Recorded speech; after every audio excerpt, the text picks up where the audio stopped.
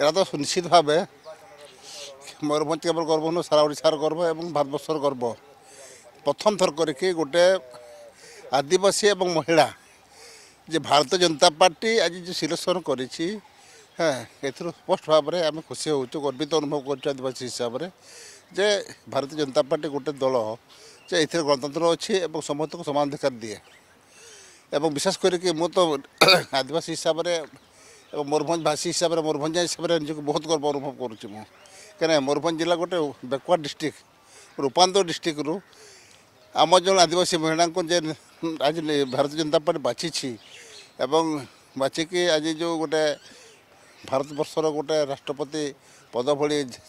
ଗୋଟେ ଜାଗାରେ ମର୍ଯ୍ୟାଦାପୂର୍ଣ୍ଣ ଜାଗା ମାନେ ସ୍ଥାନ ତାକୁ ଅବସ୍ଥାପିତ କରାଯାଉଛି ସେଥିପାଇଁ ଆମେ ତ ବହୁତ ବହୁତ ଖୁସି ଏବଂ ଗର୍ବିତ ଅନୁଭବ କରୁଛୁ ମୁଁ ନା ସୁନିଶ୍ଚିତ ସେ ତ ଅଟୋମେଟିକାଲି ଟାଣି ହେଇକି ଯିବେ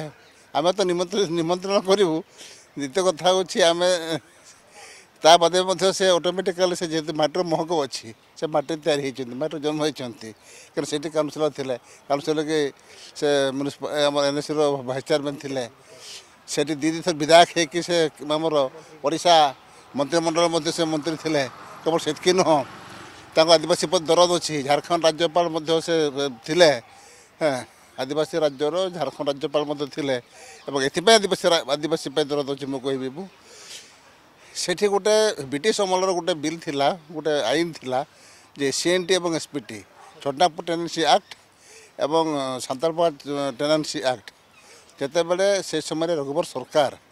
ସେ ବିଲ୍ଟାକୁ ଉଠାଇବା ପାଇଁ ଚେଷ୍ଟା କଲେ କିନ୍ତୁ ଏହି ଦରଦ ଦେଖେଇକି ସେ ବିଲ୍ଟା ଇଏ କରିଥିଲେ ବିଲ୍ଟା ଘୁରେଇ ଦେଇଥିଲେ ଏଥିରୁ ତାଙ୍କର ଆଦିବାସୀ ପ୍ରେମ ଆଦିବାସୀ ପ୍ରୀତି କେତେ ଅଛି ଏତେ ସ୍ପଷ୍ଟ ଭାବରେ ବାରି ହେଉଛି